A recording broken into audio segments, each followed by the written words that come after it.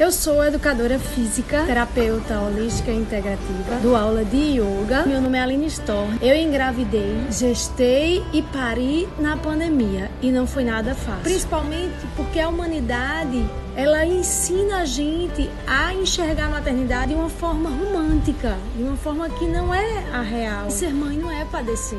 Ser mãe é viver uma realidade muito solitária que precisa desse apoio da humanidade, que precisa do apoio do pai, do apoio não, né? Porque o pai tem a obrigação, mas precisa do apoio da família, dos amigos, dos vizinhos, de toda uma rede. Então, quando a gente se depara com essa realidade, sem rede de apoio, sem apoio em si para ajudar, acaba sendo muito difícil de viver.